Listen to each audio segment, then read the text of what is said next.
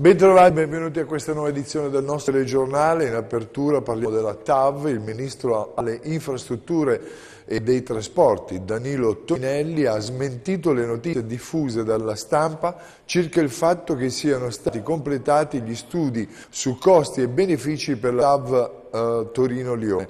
Quando l'analisi sarà effettivamente portata a termine, sarà stata condivisa con gli interlocutori interessati, ha comunicato in una nota Tonelli, sarà naturalmente pubblicata in ossequio al principio di trasparenza che abbiamo sempre osservato. Toninelli è intervenuto dopo che alcune agenzie avevano pubblicato la notizia che il governo aveva bocciato la TAV perché non economicamente sostenibile.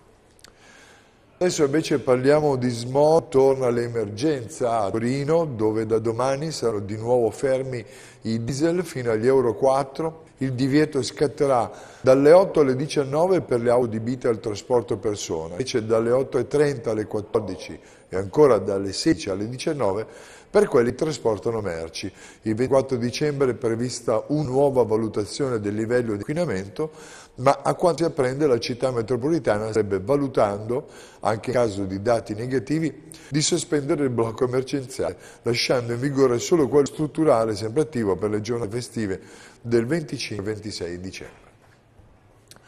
Adesso una notizia eh, particolare vermi e capelli nel cibo, inoltre piselli crudi e la denuncia fatta su Facebook dalla mamma di una bambina che frequenta la scuola primaria Duca d'Osta di Torino che ha fatto scatenare un caso quasi virale. La direzione scolastica ha effettuato un sopralluogo presso la ditta che si occupa della somministrazione dei cibi ai bambini, ma sarebbero emersi solo problemi organizzativi e non igienico-sanitari pronta la replica della madre dell'alunna che ha continuato la sua protesta sui social network. Per l'8 gennaio la presa dell'istituto ha richiesto un nuovo controllo ispettivo convoca convocando anche i genitori. All'occasione ci saranno anche l'assessore eh, comunale all'istruzione Federica Patti e il presidente della circoscrizione 4 Claudio Cerrato. Cronache ladri non si fermano neanche tale, ma anzi rubano anche i regali. È quanto è accaduto in un'abitazione di via Masini a Gerole, dove due individui, approfittando del fatto che in quel momento non c'era nessuno a casa, si sono appropriati di tutto quello che hanno trovato. Hanno eh, smurato la cassaforte e prima di darsi la fuga hanno anche preso regali natalizi. Il padrone di casa, rientrato proprio mentre due stavano facendo perdere le tracce, ha denunciato di aver visto allontanarsi un Audi di colore scuro. E saranno invece i canti di Natale il filo conduttore del concerto per la corale novese che si terrà domani sera alle 21 nella chiesa di Nostra Signora Assunta della Pieve di Novi, un programma che renderà omaggio alla tradizione popolare italiana e da anglosassone, con testi e melodie che da sempre accompagnano questo periodo di avvento. Adesso abbiamo lo sport, non si fermano i campionati di calcio per le festività, si giocherà domani il giorno di Santo Stefano, anche il 30 dicembre. La Serie A nel turno prenatalizio vedrà la Juve cercare di mantenere o di incrementare gli attuali punti di distacco dal Napoli ospitando la Roma. Torino sarà impegnato a Sassuolo, trasferta ad Empoli invece per la Samoria, a Marassi si giocherà Genoa-Atalanta tre partite consecutive anche in Serie C per Alessandria Calcio, tra poco li vedremo nella pagina sportiva curata da Fabrizio eh, Mattana che analizzerà la condizione dei grigi alla vigia del trittico natalizio. Ci vediamo tra poco.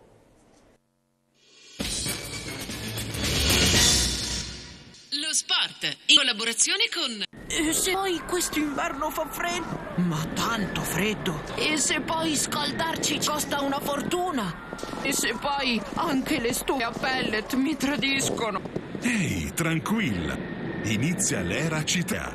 Il pellet e le stufe li produciamo noi direttamente.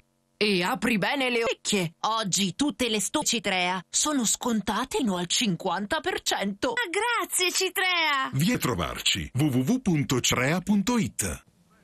Tre partite per rinascere, a scorlarsi di dosso l'allergia al gol, per recuperare quei punti persi malamente, in incontri che i grigi avevano già vinto e dominato, ma che poi si sono fatti scippare il finale per pura ingenuità. Le festività natalizie per l'Alessa Calcio non saranno di riposo, anzi saranno un tour de force verso conquista di punti preziosi che diano ossigeno a una classifica ad oggi falsata sotto molti aspetti. La corsa verso un girone di ritorno si spera più fortunato in domenica alle 14.30 al Mocagatta dove arriverà il Pontedera, attualmente sesto in classifica. Mister D'Agostino lo affronterà con un molo 3-5-2, probabilmente con Luca Santini in attacco, che appaiono in ottima forma. È una difesa formata da Delvino Gazzi e Agostinone, in dubbio l'utilizzo di Prestia. Il 26 dicembre gli Orsi incontreranno in trasferta Bissola, che avevano battuto in Coppa Italia al Mocagatta, ma il campionato è un altro discorso e sebbene i Liguri occupino una posizione critica, il match non dovrà essere preso su gamba. Ritorno davanti pubblico amico domenica 30 dicembre, questa volta mettere i bastoni fra lotte e grigi sarà la Juve 23. Poi il campionato si fermerà fra il 19 gennaio 2019, quando riprenderà con prepotenza Alessandria Calcio. Nel frattempo la società dovrebbe partecipare al calciomercato. Ci sono alcuni nomi al vaglio del presidente Di Masi per cercare di rinforzare la squadra. Lo sport, in collaborazione con... E se poi quest'inverno fa freddo? E se poi scaldarci ci costa una fortuna? Ehi, tranquilla, inizia l'era Citrea. I pellet e le stufe li produciamo noi direttamente. Ma grazie, Citrea! Siamo arrivati al termine, adesso avremo le previsioni del tempo, vi anticipo che non dovrebbe peggiorare per il settimana la situazione meteorologica, eh, forse da lunedì qualcosa peggiorerà in Liguria, ma lo vedremo rappresentato in grafica. Eh, vi lascio al meteo e alle notizie utili, grazie per l'attenzione, arrivederci alle prossime edizioni.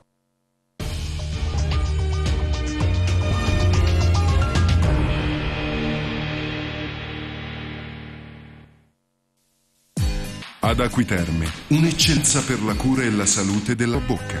Acquidental, un centro odontoiatrico con professionisti di grande esperienza e tecnologia di ultima generazione. Impronta digitale intraorale, ortodonzia invisibile, TAC panoramica a bassa essione.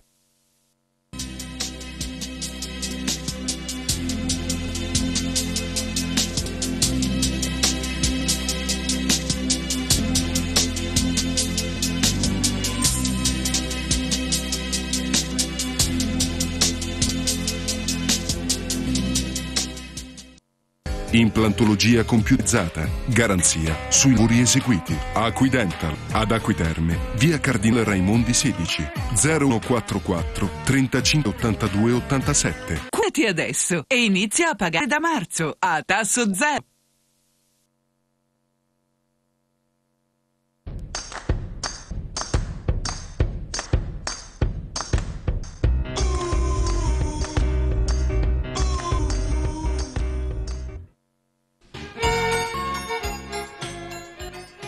Siete tutti invitati domenica 23 dicembre alle ore 20.45 Castelletto d'Orba per lo spettacolo Finalmente è Natale. Protagonisti i bambini delle scuole di Castelletto. Racconti, rece e canti per rivivere lo spirito natalizio.